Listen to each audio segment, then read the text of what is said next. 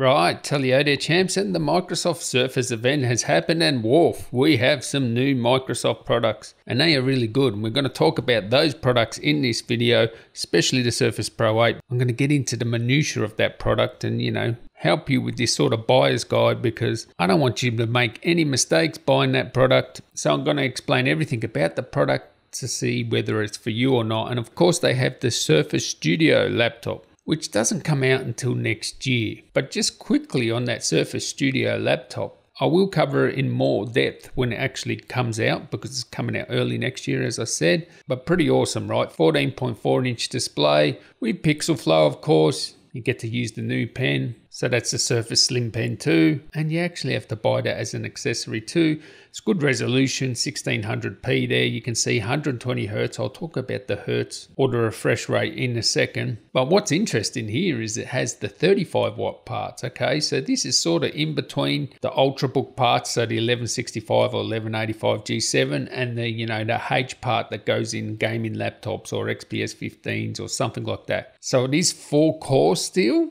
but uses more wattage than the Ultrabook parts. I guess it is a balance, right? 35 watts versus 15 watts, which you'll get with the Ultrabook parts.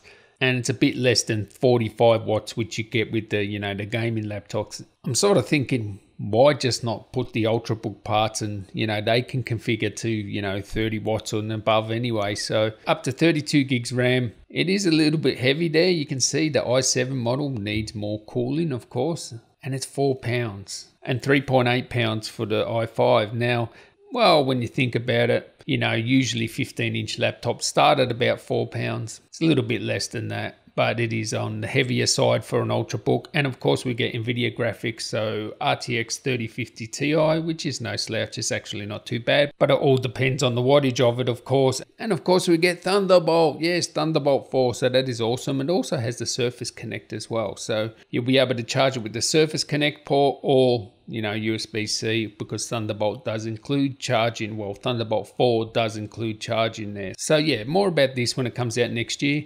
One thing to note here, Wi-Fi 6, no Wi-Fi 6E. It looks like a good product. One thing I will say about this laptop, 100% for sure, if you're not going to use these sort of, you know, studio modes like to write on and stuff like that or pushing the screen forward, if you're not going to use those modes, don't bother getting this because you'll be able to get something cheaper, just as premium, although the 120 Hz display is sort of unique for an Ultrabook. Let's go to the Surface Pro 8. Let's get into the minutiae of this product. Now, first thing is up to 120 hertz refresh. So it is 60 hertz by default. So that means no variable refresh rate. I would have thought with Windows 11 and you know Microsoft building the hardware and the software, we could have had something like that variable refresh rate. So it just you know knows what you're doing and cranks up the refresh rate when you need it, like using a pen or playing games or whatever.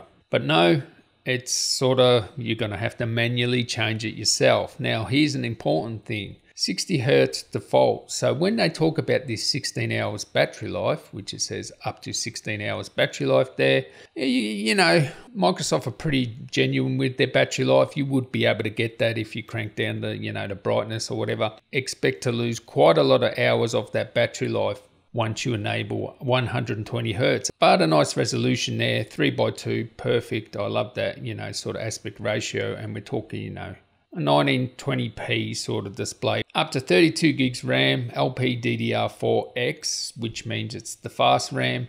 Now here are the two processors. Now the thing is here, in one sense I would say just get the i5, you're not going to notice the difference from the i7. I'll tell you the differences in a sec, but the reality is if you want 16 gigs RAM, you're going to have to go to the i7 anyway. So that's just how it is. Now the differences between these two CPUs, so we have the 1135 G7, the i5 on the left, and the i7 on the right, which is 1185 G7. So they haven't skimped with that i7. That is the best i7 you can get. Now, the big difference here is obviously clock speeds up to 4.2 gigahertz on the i5 and with the i7 4.8 gigahertz. This is all going to be governed by thermals. Now, the cooling solution with the i5 and i7 is the same now. So you're not going to buy an i5 that's fanless. But at the end of the day, this clock speed is really down to thermals, how fast it's going to, you know, boost. The i5 will boost. If the thermals are good, pretty much the same as the i7, right?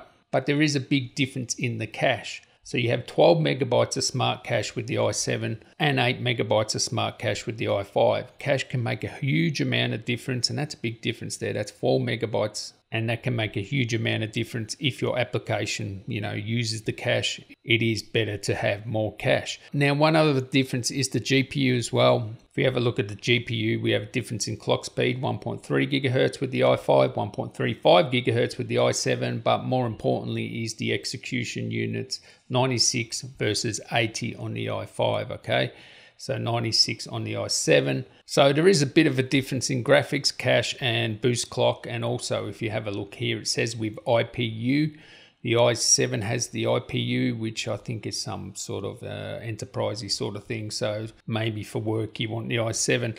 But the reality is, if you want anything more than 8 gigabytes of RAM, you're going to have to get the i7 anyway, so it's sort of superfluous talking about that. Look how light these are. Look, 889 grams or less than 2 pounds. Now, of course, that's with no keyboard, but that is super light, super mobile, super compact. It really is like carrying around an iPad sort of thing rather than a laptop. If we have a look at the product now, we are actually missing the SD card reader. So if I have a look around this product, um, you can see there we still have the Surface slot there. So that slot there, the Surface Connect. We have two Thunderbolts and the power there, it looks like. And then if we go around the other side, we have the volume rocker and then we also have the headphone jack.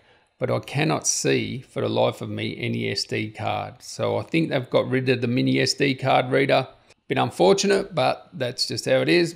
Also, removable SSD, so you'll be able to upgrade this SSD. It will be one of those small SSDs, so they're pretty niche, those sort of things. It won't be the full size SSD, but you can change it yourself, the storage, so don't worry about what storage you get. The main consideration is really the memory, the RAM. Now, if you're just doing basic stuff, 8 gigs of RAM and the i5 is perfectly fine. So, you know, productivity, Word, Excel, just, you know, viewing content, web surfing, all that sort of stuff, 8 gigs will be fine. If you're going to do any creative work, I suggest you do get 16 gigs, which means you have to get the i7. And I guess the power users, yes, get 32, but I think 16 gigs is the sweet spot there with the i7. Perfect. And because you have Thunderbolt 4, we have Thunderbolt 4 with these. Awesome. That means you can connect eGPU, fast storage, 10 gig networking, all that sort of stuff. But you can also play AAA games now when you connect an eGPU. It does open up a whole new world of you know, Thunderbolt docks. It's just awesome that it has it. And remember, people saying, oh, the reason Microsoft doesn't have Thunderbolt is because of security. Well, you were wrong. Because Thunderbolt 4 is just Thunderbolt 3 with every feature implemented, including the DMA, you know, the memory protection there, which is on by default with Thunderbolt 4 which is what people were talking about security wise, but that was just a load of rubbish. Microsoft have now come to the party, and I guess they wanted to keep the Surface Pro at a lower price point when they had no Thunderbolt. Because obviously, including Thunderbolt makes laptops more expensive. So now they're not cheaping out and they come in at a good price. They're very competitive. I think that's pretty much all you need to know about these products. I will get one in and make sure you subscribe or connect it to an eGPU and we'll just do a normal gaming test without an eGPU as well. And it does come out October the 5th when Windows 11 comes out, of course. But I would wait to buy one of these when Microsoft has one of those 20%, 15, 20% discounts, and then you'll get, you know, a good spec Surface Pro at a really good price. Actually, they're pretty good price anyway. So, yeah, catch you in the next one, guys. Tally ho.